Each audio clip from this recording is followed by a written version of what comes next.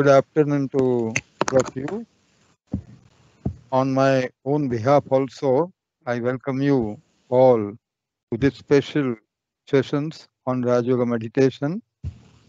The topic of today's discussion is stress-free living.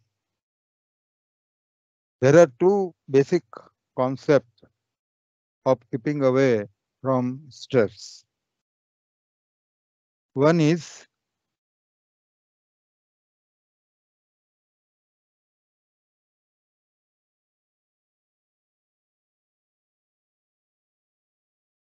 concept of stress management. Another is concept of stress-free living. Now let us try to understand what is the basic difference between these two. The concept of stress management means due to one or more reasons when we come under stress, then manage it by adopting any one or more techniques of stress management. Now these techniques may be physical techniques, intellectual techniques, psychological technique, yogic techniques, any sort of technique you adopt. Some relaxation techniques are also there. Adopt those relaxation uh, techniques and just uh, manage your stress. This is one concept. Now there is another concept of stress-free living. Now here, whatever may be the situation or circumstances, one does not come under the stress at all. As one has developed enough strength, ability, and resilience to cope up with pressures, challenges, and competition. Whatever competition, challenges, or pressure he is facing, but he will not come under the stress because he has enough strength and resilience. So there is no question of stress management at all. He has not to do anything for the stress management because he doesn't come under the stress at all. So these are the basic two concepts. Of course, we are going to discuss both the things Uh, we will be dis discussing on some physical, intellectual, psychological, and yogic techniques of stress management. But our more emphasis will be on stress-free living, that how to lead a stress-free life. And there comes the Raj Yoga meditation. The Raj Yoga meditation is a technique where we can develop all these inner strength, abilities, and resilience which is needed for uh, facing these pressures, challenges, and competitions. So our more emphasis will be on stress-free living rather than stress management. But still, however, you know, you may be interested in learning those techniques also. So we'll be discussing all those techniques also. So here, before we go to this, uh, how to lead a stress-free life, let, let us try to understand that why is it necessary for us to discuss this particular topic now? Now you can see that the stress and anxiety day by day it is increasing all over the world. Generally, the children and the elderly persons or a retired person should not have stress because there is no reason for the stress for them. But still, however, we see that even the school going children and even the retired persons, they have their own problems and they are also under the stress. So no one is spared from the stress. Now, one of one philosopher investigated the last four centuries and he gave his opinion about this fourth century. He said that the 17th century has been described as the age of faith. 18th century considered as age of reasoning. 19th century was age of progress. And for the 20th century, what he said, that is important for us. And that is the age of this. He said that in the 17th century, people does not have that much of uh, reasoning power or the cognitive powers that much developed. And therefore, at that time, whatever a political leaders or religious leader told the people, they blindly follow them because that themselves does not have enough reasoning power. Now, here there was a lot of exploitation of the people, and then people started understanding, and then they developed a. So, the whole 17th century was the age of faith. 18th century, people started reasoning, and some cognitive powers were developed in the people, and there, that is why 18th century was century of reasoning. And naturally, when the reasoning power is developed, uh, comprehension power is also developed, certain cognitive powers are also developed, there will be a progress. So 19th century he described as the age of progress. And we see also that in 19th century there was a lot of progress.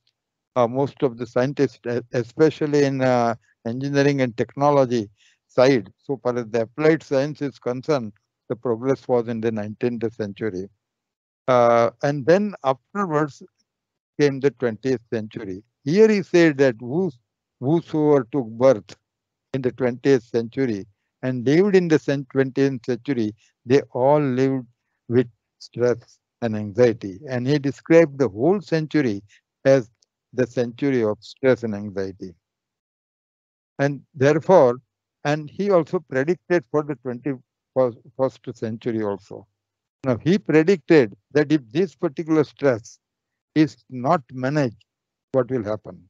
He says that, and that is why it is of utmost importance to manage this particular stress. If the, this particular stress and anxiety is not managed, then 21st century in which we already entered and already 20, this is the 22nd year of the 21st century, that he said that it will be the age of panic. You know, he has used the word panic. And he said that God has given a wisdom to the human being. And all of a sudden, a human being will get awakened and it can be the age of peace. So he also said that it all depends upon us. We have to decide that whether we want it to be a uh, age of panic or whether the 21st century we want it to be a age of peace. It we have to it's in our hand. So certainly if I ask you, you are all sitting, if I ask you, what would you prefer? Would you like it to be age of panic or would you like it to be age of peace? Naturally, the answer will be what? Certainly, please, everyone will say that yes, we want the age of peace. Then, most important priority of the 21st century has to be stress management. And this stress has to be managed.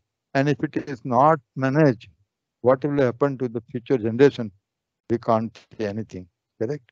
And so if we want to keep away from the panic of the 21st century, anyway, we have to manage this stress and we have to get rid of it. Now, there are certain misconceptions about the stress. So I want to begin this particular topic with this.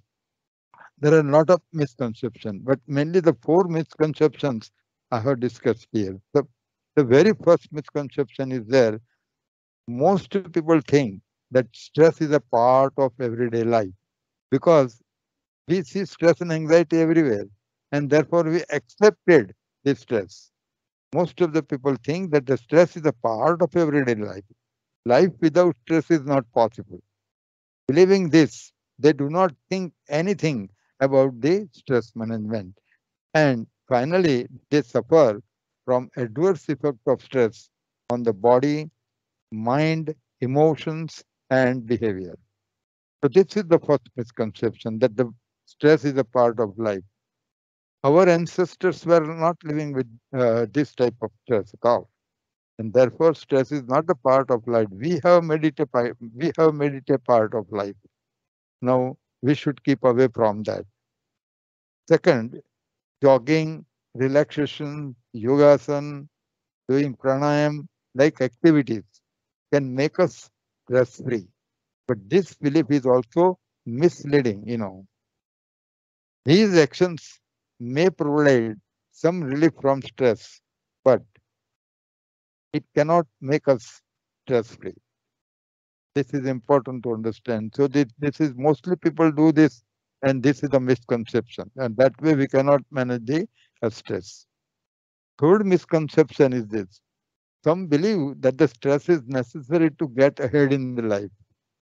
It increases a person's work speed and efficiency. This is what believe. And little bit they are correct also. We'll see this in the stress curve also. But this belief is also misleading. Attention is needed, not tension, to increase efficiency and the speed of the work. You have to be attentive, not tensive. So we have to differentiate between attention and tension also. So here I have shown the stress curve. So it is it is right that when there is a zero stress, then we have some optimum performance level. But as the stress goes on increasing, our performance levels uh, gradually uh, go up, little bit go up.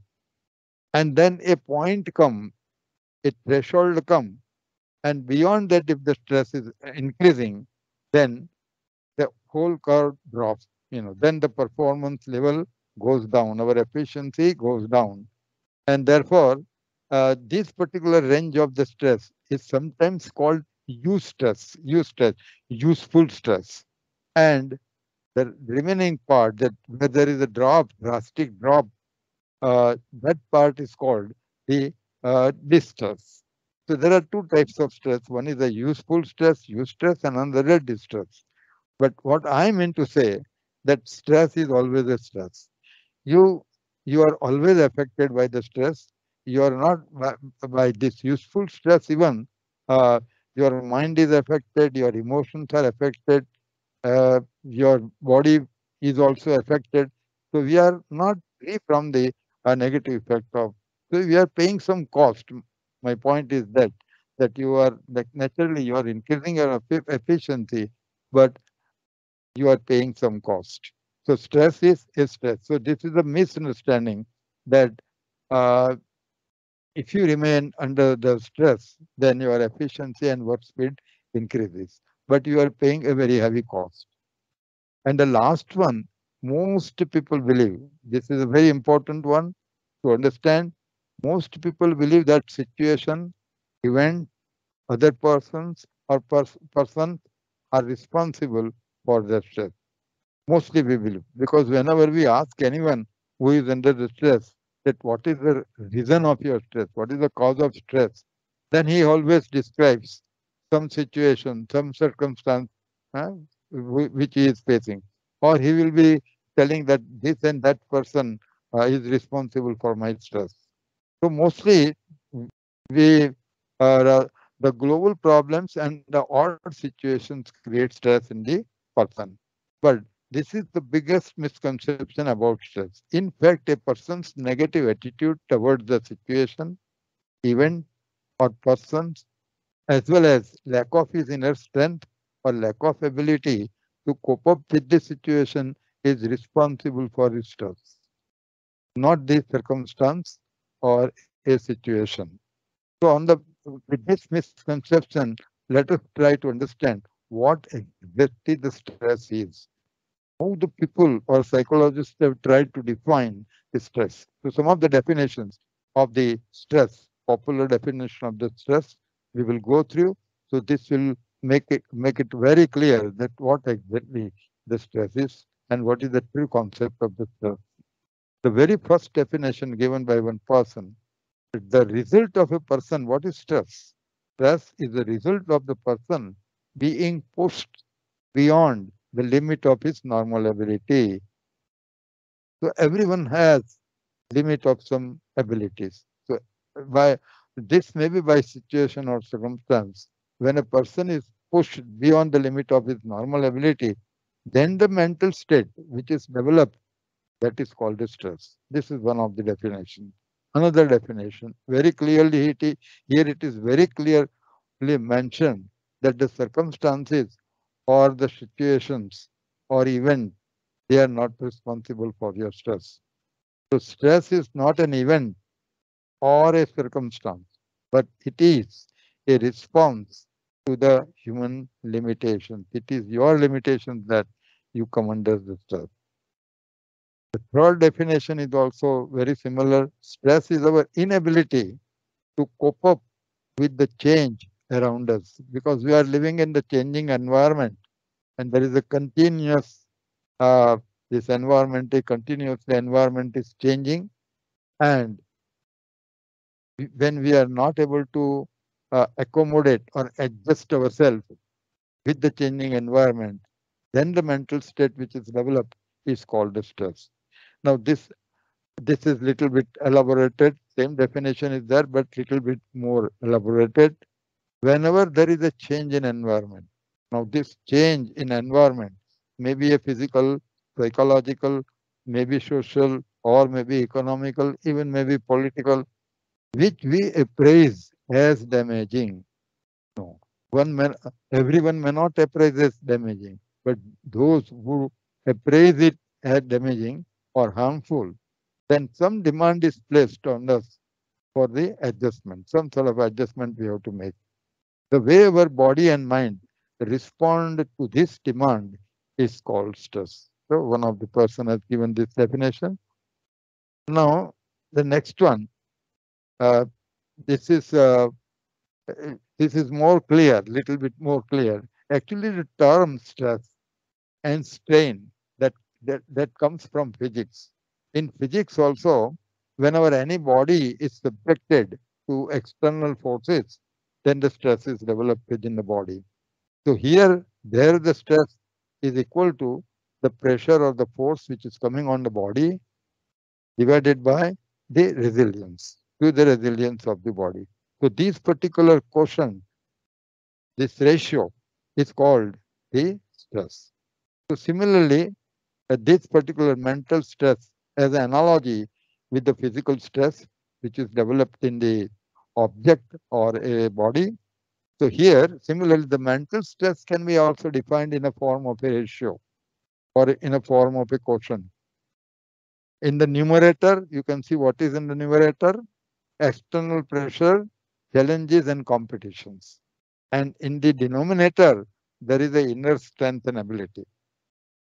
Now, if this ratio is 1, when this ratio will be 1, then inner strength and ability is equivalent to external pressure, challenges, and competition, then this ratio will be 1. What does it mean? That if the ratio is 1, then there is no reason for stress because you have enough inner strength and ability and resilience to face the external pressure, challenges, and competitions.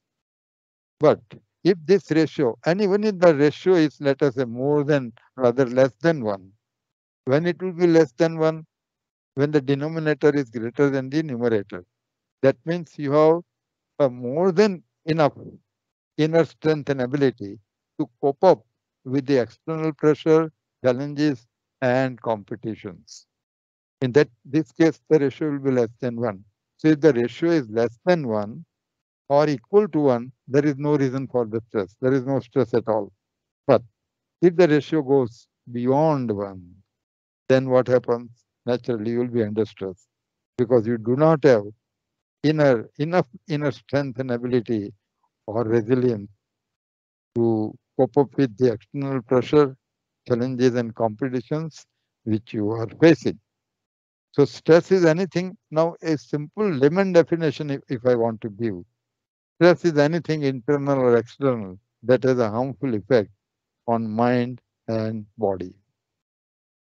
Now, in medical science, also people have tried to define the stress in medical terminology, and especially this Hans Selye, he is considered to be the founding father of the stress research. What he says about the stress, let us see. Any external stimulus which leads to the physiological changes in the form of three changes are there one is enlargement of the lymph node, stimulation of corticosteroids, and increase in muscle tension can be considered as a stress. So if you have this sign developed in the physical body, then you can say, yes, the person is in under the stress. What are those three signs? One is the enlargement of the lymph nodes. All of you know that God has given us the immune system in our body. Now, basically, there are three systems for controlling our functions of the body, and that is one is the for the safety of the body. We have an immune system, endocrine system, central nervous system also. Now, here in the immune system, there is a complete network from top to bottom of our body, and there are certain uh, at certain junction of this particular immune system network, there are some lymph nodes and these particular lymph nodes are affected most by the stress and they get enlarged. So if there is enlargement of the lymph nodes, it indicates that there is a stress. Similarly, you know, that stimulation of cortical, particularly cortical stress, actually due to the stress, our hormonal imbalance uh, all over the body is created. There are a number of uh, endocrine glands in our physical body secreting different types of hormones. And with these hormones, different functions are managed in the physical body. So particularly in the adrenal gland, which is located in the cortex of the kidney, uh, this uh, secretions uh, of the cortical corticosteroid increases. Increase in the muscles tension can be also considered as a stress. So if these three signs are developed in the physical body, then uh, we can say that a person is under the stress. So these are some of the uh, definitions of the uh, stress. So here also it becomes very, very clear that all the time we should not blame situation, circumstance, or the event uh, for our stress. A lack of our inner strength, lack of our ability, lack of resilience, tolerance, and so many, so many other factors are there uh, that creates particularly our negative attitudes, that creates the stress. Now, uh, this is also important to understand because uh, and when we understand it, that what are the negative effects of the stress, which are called the signs also. Uh, medical uh, terminology, it is also called the sign of the stress. So there are physical, our uh, body is also affected, our emotions are also affected, mental effects are also there, our behavior is also affected. So let us try to understand that what are this particular negative effect so that we can be serious about the stress management that yes we have to manage the stress. So here the first these are the general things are shown here. First of all effect of stress on the body is disastrous first of all, it is such a disaster, and therefore the number of diseases, most of the diseases are called psychosomatic. Diabetes, lifestyle disorder, particularly diabetes and blood pressure and the heart problems and so many other diseases, which are called lifestyle disorders. These lifestyle illnesses, they are uh, due to this particular stress and anxiety. So effect of the stress on the body is disastrous, affects deeply on hypothalamus and pituitary glands, therefore affects autonomic nervous system and endocrine system. Because our endocrine system is controlling number of voluntary and involuntary functions of our body, and pituitary gland ultimately control because it is a king gland controlling the endocrine system, thalamus and hypothalamus. Thalamus is also there and hypothalamus is also there. These are the two, two organs which controls our central nervous system as well as the autonomic nervous system also. And therefore, due to the stress, first of all, this pituitary gland and hypothalamus is affected. And this hypothalamus also is secreting around nine, more than nine hormones, important hormones. And pituitary gland also secretes a lot of hormones. And our body is uh, controlled by these particular hormones. So it also affects our immune system. As I told you, that there is enlargement of the lymph nodes and lipid metabolism uh, is also affected because of that the, there can be heart problems and the neurons are the neurons are the cells of the brain. They are also affected. In another if you don't want to give in all details in the layman language all the 75 trillions in our physical body there are 75 trillions of body cells. And all these 75 trillions of our body cells are affected by our thoughts, you know. So if, if, stress means negative thoughts are there, wasteful thoughts are there, and therefore uh, all 75 trillions of the cell will be affected. Now, let us see some physical effect. What are the those physical effects? But if these things are there, then we may say that yeah, one is suffering from the stress. Headache, infections, throbbing heart, allergies, indigestion, nausea, tiredness, weight loss or gain, vague ache, hand pains, and insomnia. And that can be many more also. And these are some of the important I have listed here. And I think I don't need any discussion here. Uh, it is understood. So uh, if you have a headache or now and then, uh, if, if, if you if you are suffering from infections and if you have heart problems, then stress may be the reason. But in other words, if you are suffering from any of these things, at least you should keep away from the stress. You know, for the remedy also, you're curing that. Also, one should try to keep away from the stress. Okay, so these are some physical effects, and we should keep away from that. These are some of the mental effects. I won't discuss in detail because lack of time, but I have just listed here. You can go through. Indecisive, hasty decision, both ways. Either we remain indecisive under the stress or we make hasty decision. And hasty decisions, possibly, it can be a wrong decision also. So indecisive, hasty decisions. Now and then we may make mistakes if you are under stress. Forgetfulness, lack of concentration. This is very important. He will not he will not be able to, a stressful person will not be able to focus his mind and he cannot work also that efficiently. Easily distracted, worry more, mood swing. He will be moody, moody and mood swing will be there. So these are some of the, there can be many more also. But these are the main mental effect of the stress and anxiety on the human being. And here, the effect on emotions. There are certain effects. The irritable, anger, alienation, nervousness, apprehensive. He becomes apprehensive. Cynicism, cynicism, finding fault with others, loss of confidence, job or life dissatisfaction. In other words, overall, this indicates low value of emotional quotient or low value of emotional intelligence. So if you want to keep away from all this, we have to keep away from the stress. And effect on behavior poor management. Naturally, he will not be able to manage properly, either at home or at the office. Poor interpersonal relation. His relations with other, stressful person, uh, relations with others will be also uh, poor.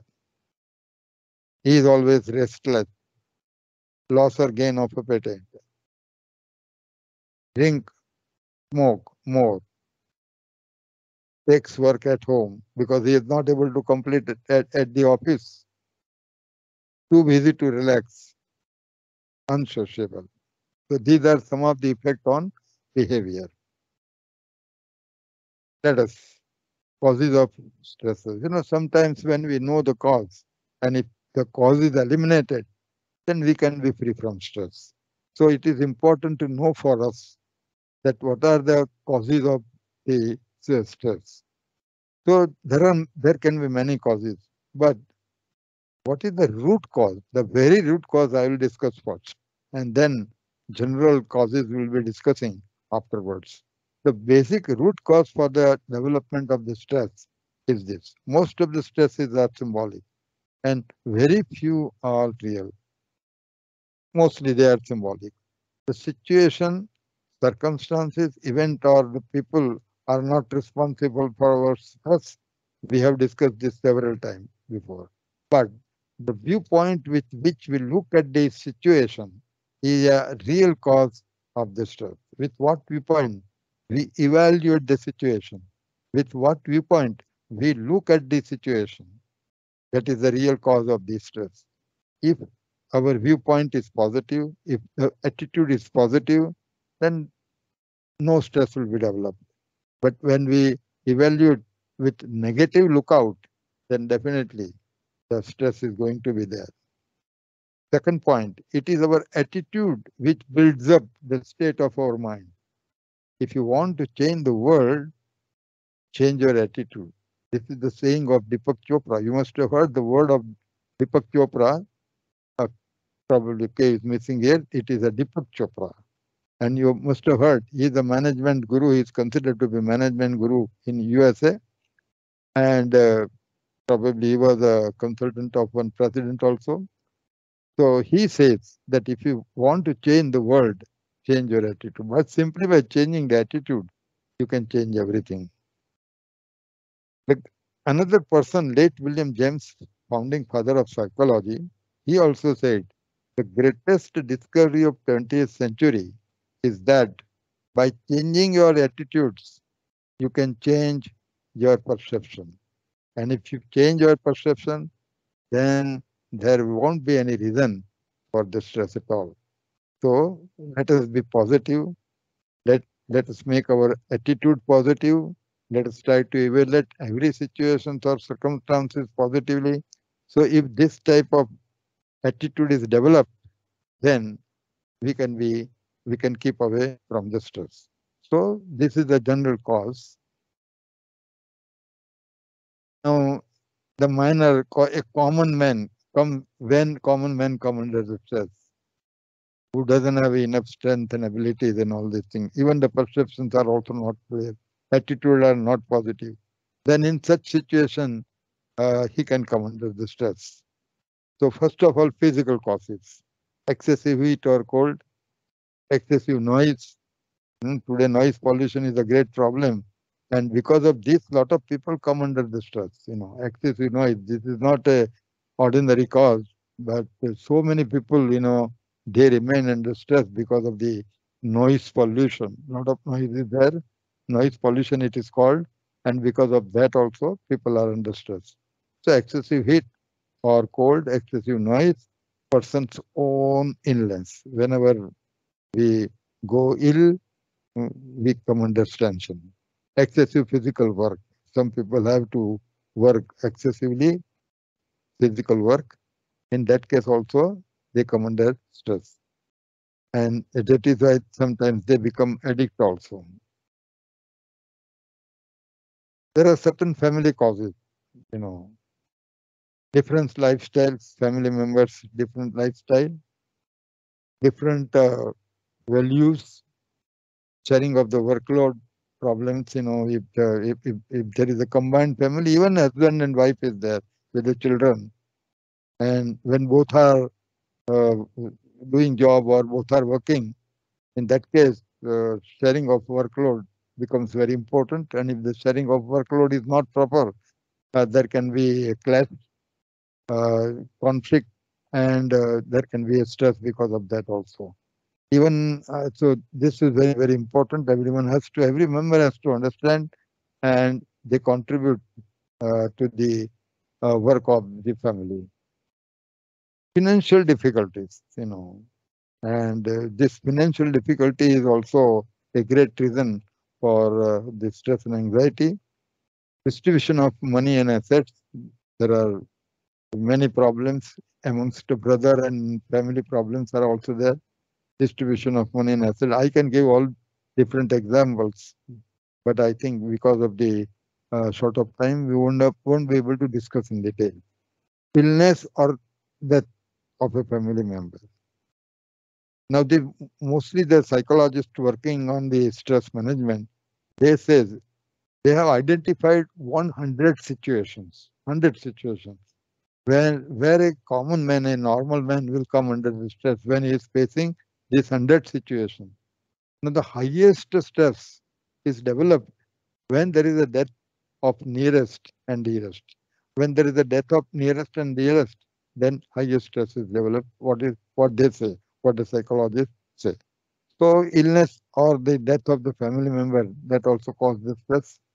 Then staying away from the family. Many at times the situations occur where we have to keep uh, away from the uh, family. And whenever, if one is uh, doing job, and if the job is transferable so now and then transfer takes place. So in the beginning, of course, when the children are quite young, at that time, uh, the whole family moves from here to there. But after some time, you know, uh, when the children becomes uh, at least teenagers, then it difficult difficult to move. So at that time, the person will have to stay alone. And a family will settle at, at one particular place, and uh, the man will uh, keep on moving from one place to another place. So staying away from family, that can also cause a lot of uh, stress. So these are some of the, there can be many more family causes, but the main family causes for the development of the stress I have listed here. Then career and job oriented uh. These are the many because mostly uh, so far as these particular uh, countries are concerned, where you are there, uh, mostly everyone has to work. Everyone has to work. Unemployment, lack of job security. Job is there, but it is not a secured. Anyone one can get layoff. So lack of job security, lack of clear goals of the life. Still not found one SNIC. That means SNIC means goal.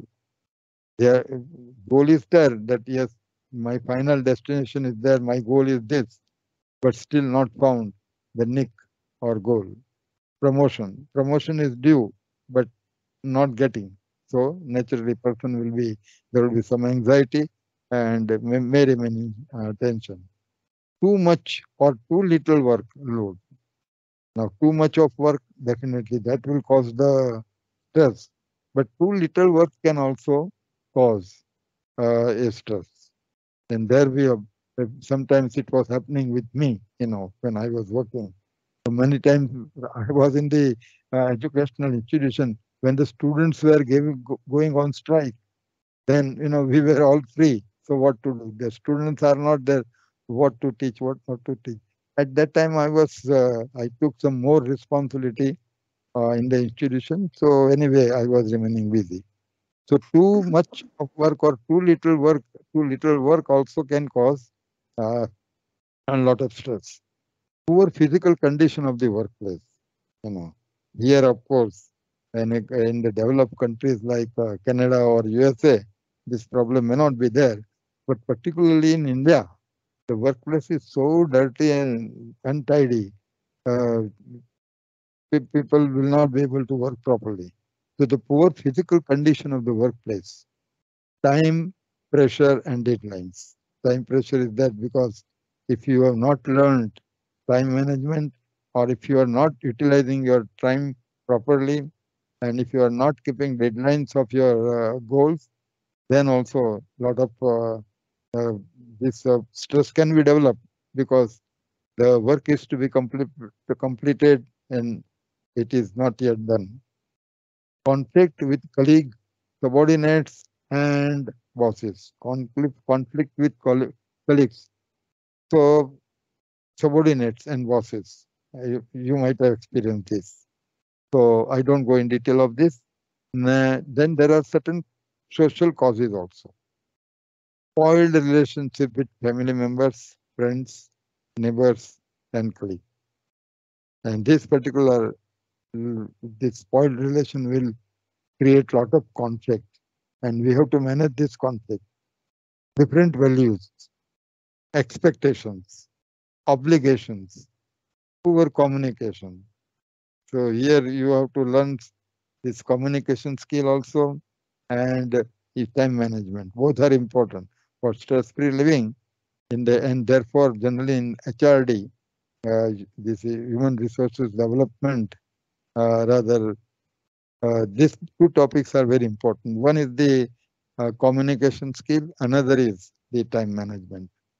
So if you learn this two, you can be stress-free. Misunderstanding, jealousy. So these are some, some of the social causes which can create a lot of stress. Now, overall, the whole globe is facing a lot of, whole world is facing a lot of problems. You can see that there are a number of problems and those global problems also create, uh, we may not have a personal problem, but certain global problems are responsible or sometimes become responsible for our uh, stress and anxiety. So here I have simply listed out some of the uh, global problems and uh, how to minimize these global problems or how how we can we should develop our own self so that this particular global problem does not affect us much. So one is economical global problem. Inflation is there, unemployment is there, poverty is there, depression is there, depreciation is there. Then there are certain social problems also, broken families, bitter relationship, selfishness, evil customs, you know. Then political political anarchy we see uh, nowadays in different countries, instability of the government, particularly strife, corruptions. Then there are certain moral and ethical problems also. Generally, generation by generation, there is a erosion of the ethical and the moral values. So lack of ethical values, downgrading, influence of vices. So these are some of the global problems. And because of these particular global problems, uh, we person come under the stress. So this way we have seen that there can be many reasons for the development of the stress and anxiety. But if you have enough strength, ability, and resilience to cope up with this all situations, then there won't be any reason for your stress. Now let us try to now our main topic that how to lead a stress-free life or how to manage a stress. Due to any reason, once we come under the stress, how can it be managed? So as I told you, there are two concepts. One is the stress management, another is uh, to learn how to lead a stress-free life. So, so far as the stress management is concerned, I told you that there are many uh, relaxation techniques. There are many uh, physical techniques, intellectual techniques, psychological techniques, as well as the yogic technique also. So we will begin with some of the physical techniques. So, so far as the physical technique is concerned, today I will just demonstrate uh, before you one relaxation technique. So due to one or more reason, or whenever you come under the stress, you just practice this for three to five minutes then you'll be relieved from the stress temporarily, you know. And uh, it, it doesn't assure you that when this again when you face the same situation you won't come under the stress because here due to this particular technique or perceptions are not changing it is not that your inner strength and resilience is increasing this is simple simply a relaxation technique temporarily for the short time or for that instant, you will be relieved from the stress. And again, you will be able to focus your mind. So this technique is scientific one and can be useful also. So we will begin with that particular technique and I will demonstrate you. We will all uh, together will practice this particular technique. Now this particular relaxation technique is important even for Rajyog meditation also. Because Rajyog meditation is a science of uh, introversion and introspection. So to be introvert and to introspect the self we need to focus our mind. We have to stabilize our mind. We have to focus our mind. We have to achieve some sort of concentration so that we can move ahead for Rajyog meditation practice. So both way, this particular technique will relieve you from uh, stress and anxiety for a short time. At the same time, you can easily achieve your concentration. And even when you are working at your workplace, in the office or some important work uh, where you need a high level of concentration, then you can practice this method for two, three minutes and then begin your work.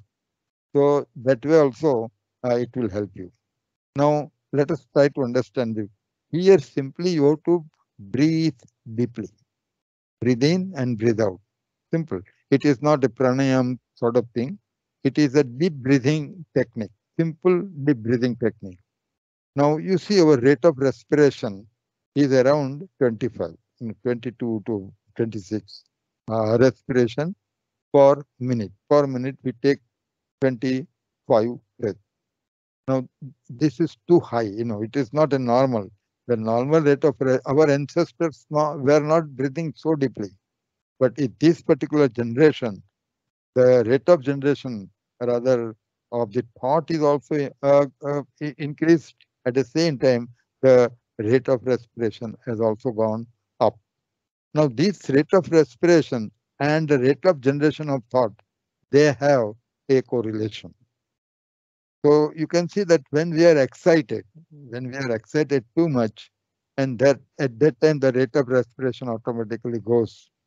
And sometimes, you know, when we sit silently, fully relaxed, you see your rate of respiration. Your rate of respiration will go down.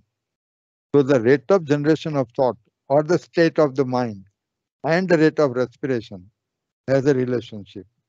So why not to utilize these relationship for stabilizing the mind?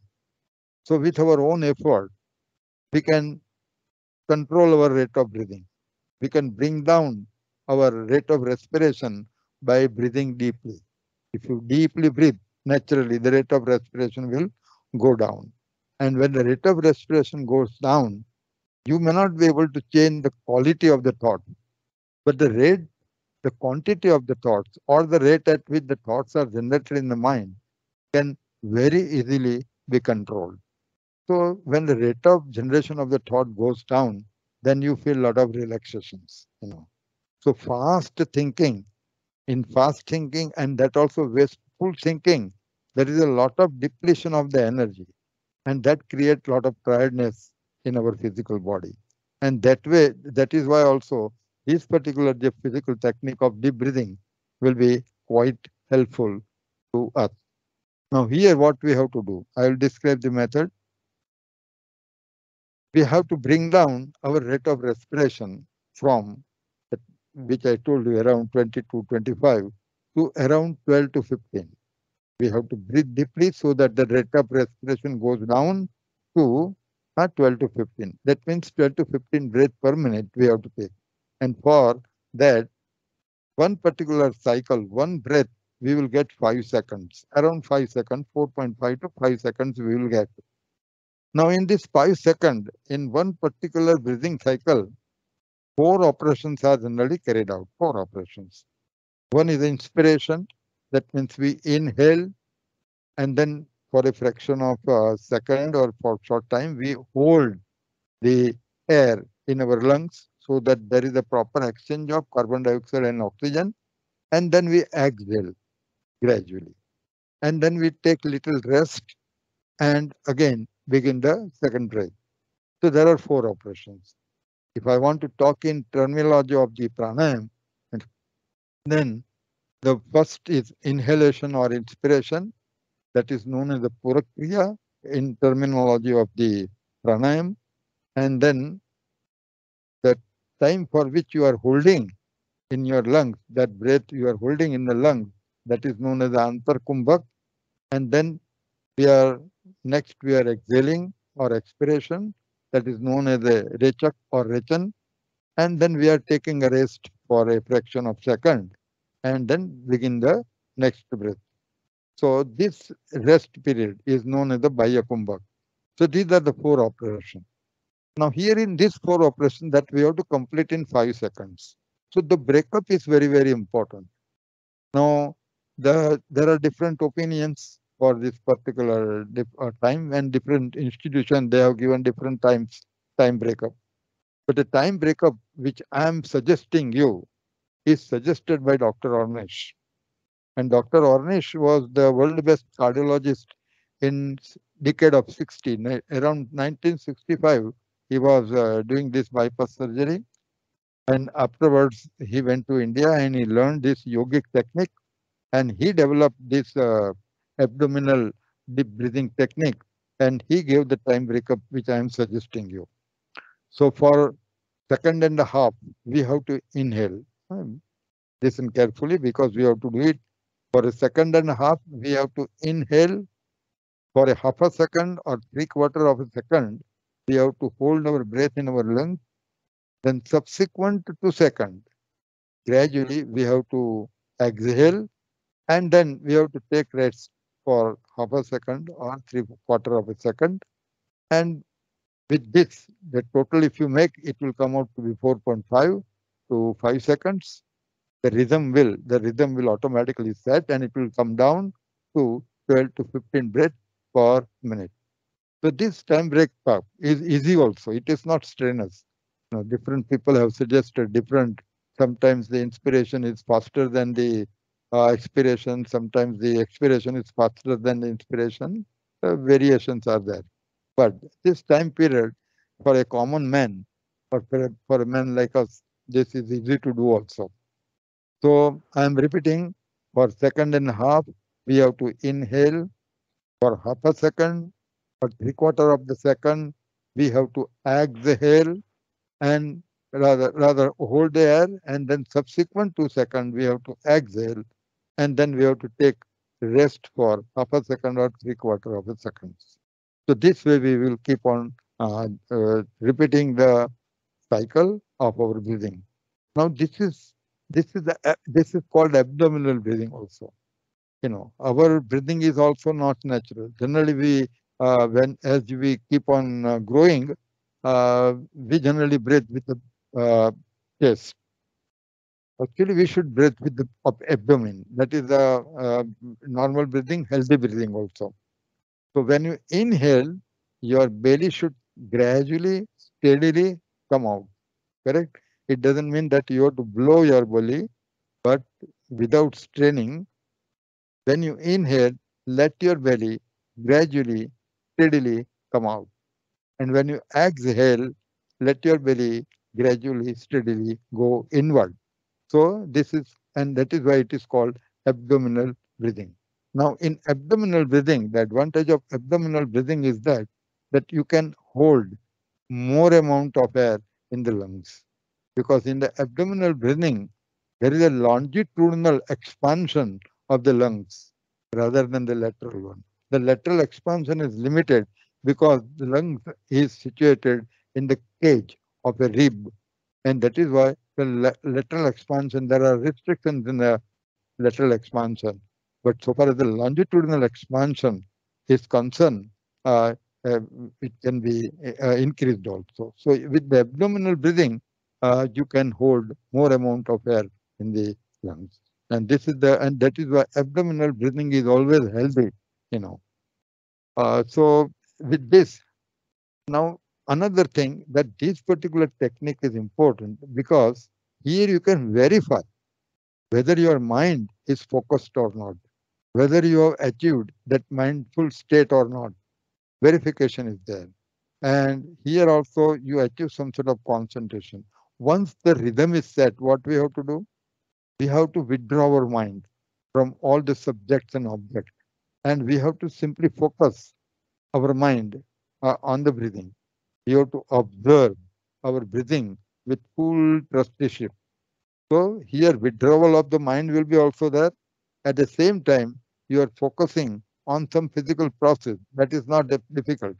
Focusing on the process or focusing on the object is become simple. Suppose if you take a candle light and if someone says that you focus for some time on this particular flame of the candle light, then it becomes easy for us to do that. And many people are using uh, with uh, uh, this particular practice for achieving concentration also. But here, uh, we are going to withdraw our mind from all the sides, from all the subjects, from all the objects, and we are just going to focus on our breathing. And we will, with trusteeship, we will observe our breathing. When we do this, what will happen? You have a two experience and we are going to have this two experience and everyone has to do this two experience. What are those two experiences? During inspiration or during inhalation, there is the inward flow of the air through the nostril or on the upper lip. And during exhalation, there is the outward flow of the air or our breathing. So this inward and outward flow during inspiration expiration that we have to sense on the inner walls of our nostril. And if you are able to sense this inward and outward flow on your inner walls of your nostril, it means that your mind is fully focused. If your mind is not focused, if it is moving somewhere else, then you won't have this experience. And this this is this this way we can verify also that whether my mind is focused or not. Another experience. You know, the during inspiration, there is a fresh air going in. And during expiration, a warm air, warm air is coming out. So the fresh air which is going in is cold comparatively, and air which we are exhaling, the breath which we are exhaling, that is a warm. So we have to sense this coldness of the air during inspiration and warmness of the air during expiration. So if you are able to experience, if you are able to sense that oldness of the air during inspiration and warmness of the air during expiration, you can believe, yes, my mind is fully stable, fully concentrated, and I have achieved a mindful state. And once you achieve this mindful state, then you can begin your Rajyog meditation or you can just focus uh, your mind on your file. Yeah? When you, if you are working in office, when you sit on the table, uh, when you begin your work, do this for three, five minutes and see the change, you know, because when you, when you from, from your family, you are going to the office. So naturally some thoughts will be there on the mind regarding the family. And then you have to change. So this particular uh, technique is very useful for diverting and focusing the mind. So of course we are going to use for Rajyog meditation this technique. So let us uh, practice this. I have described in detail uh, and I think that uh, uh, still however during our practice I'll give you directions also. So wherever all of you are sitting, wherever you are sitting, and uh, you sit comfortably mostly all of you are sitting on the chair or you are sitting on the sofa, wherever you may be, but you have to sit comfortably, all of you. Sit comfortably, relax your body. All the limbs you have to relax particularly. In another words, you throw your body. Completely relax your body. There should not be any tightness or there should not be any stress in any part of the body. Sit relaxed mentally and physically. Now begin breathing deeply. With both the nostrils, you have to inhale and exhale. But remember, we have to breathe deeply so that the rate of respiration comes down to 12 to 15. For the second and half, you have to inhale with both the nostrils for half a second or three quarter second or maximum one second. You have to hold. Subsequent two second, you have to exhale. And taking rest for a second or three quarter of a second. You have to repeat cycle. When I inhale, my belly should come out gradually and steadily. And when I exhale, my belly should go inward steadily and gradually. I hope your rhythm is set.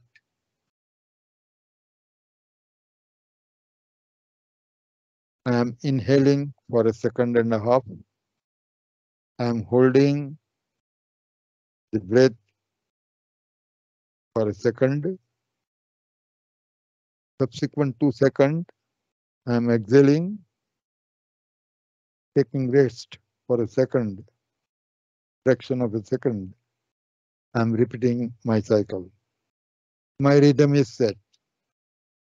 Now I am withdrawing my mind from all the sides, from all the subject, from all the objects, and I am fully focusing on my breathing. My attention is on my breathing. With trusteeship, I am observing my breathing. Yes, there is the inspiration, there is the expiration going on. My mind is stable now.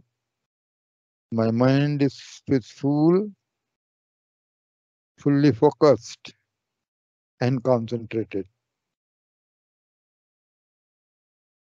I am experiencing peace and stability of my mind. Enhance your concentration and try to sense that inward and outward flow of your breath on the inner walls of your nostrils during inspiration and expiration. Yes, I am experiencing the inward and outward flow of my breath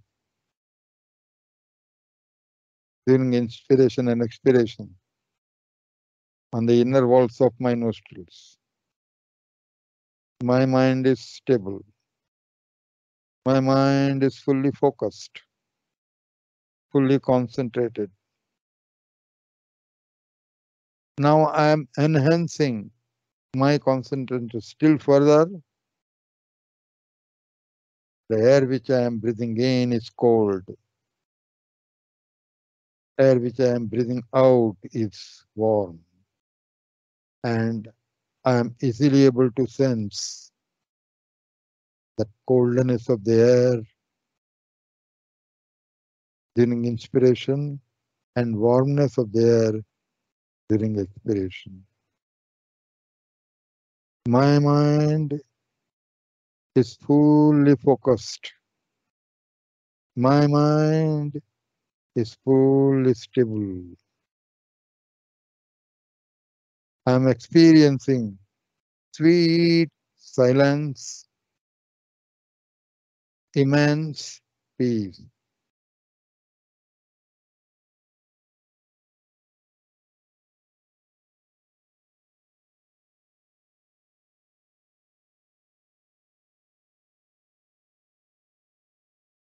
Inhale deeply and let us utter O.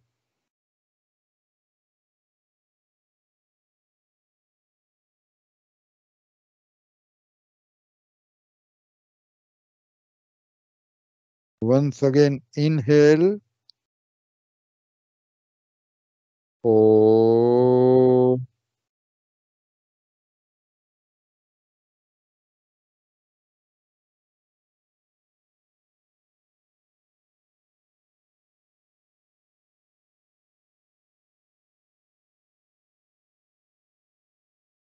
Shanti, Shanti, Shanti. Let there prevail peace all around. Let there prevail peace all around. Thanks for thanks to all of you. Thanks for your participation.